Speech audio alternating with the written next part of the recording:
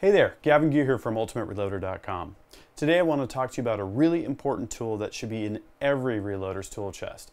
That is a case gauge.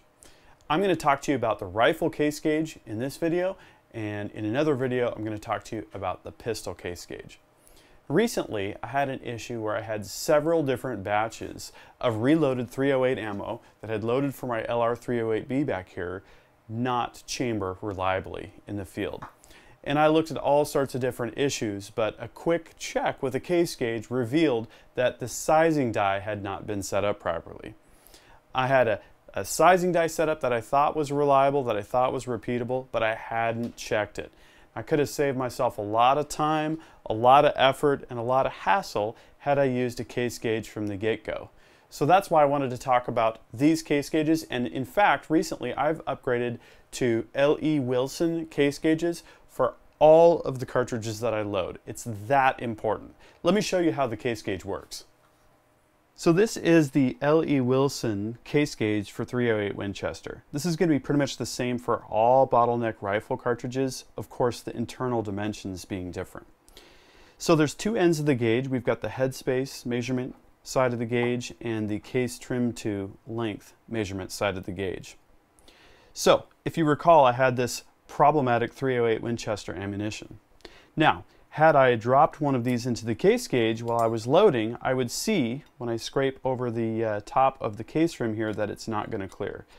This should fall between the top edge of the gauge, which measures maximum headspace, uh, down to the minimum here, which measures minimum headspace.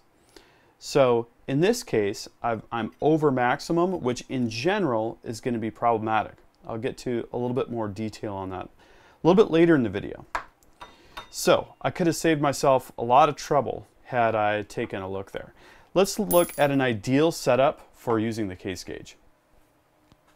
So let's talk about how you'd use the L.E. Wilson rifle case gauge to set up a rifle sizing die. What I've got here is an indicator base. I've got an indicator stand.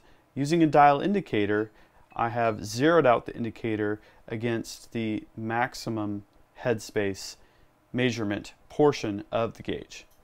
So we've got that on zero. We'll see negative five on the lower step.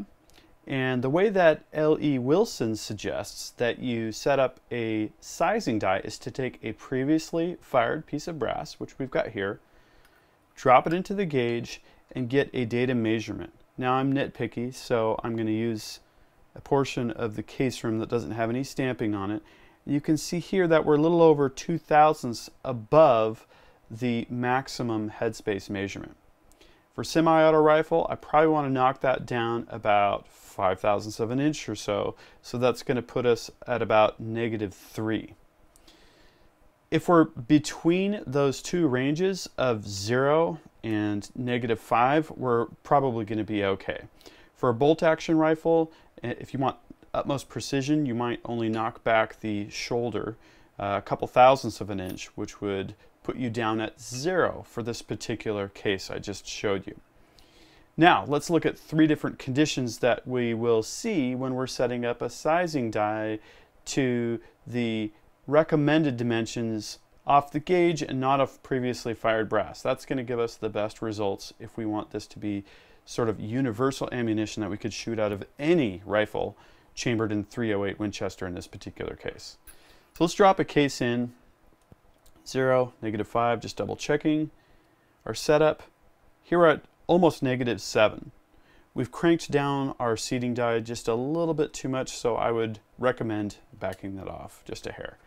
Now sometimes it helps to have some sort of a blunt object to push the case out with because the case can get lodged in the case gauge. Let's take a look at another condition. Got another piece of brass here. Double check here. We're at about zero, about negative five, and here we're right at negative five. For this rifle, that's going to be plenty close enough. We're within a thousandths or two uh, of where we want to be. Let's take that case out.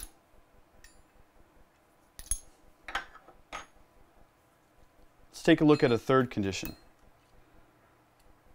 Okay, so here you can see we haven't knocked back the shoulder at all. we're at plus 3. So in this case, we would want to crank down the sizing die just slightly and try again. So there you go. You can see just how important and how easy it is to use a case gauge when you are setting up loading cartridges, whether they be rifle or pistol. Now, this is the rifle video. Make sure that you also check out the pistol video because it's a little bit different, a lot of the same concepts, but uh, some slight nuances between the two. Of course, if you like my channel, please subscribe. And as usual, there's a more detailed and full write-up with a lot more information on ultimatereloader.com. You can click on the link below for that. Thank you for joining me, and we'll see you next time.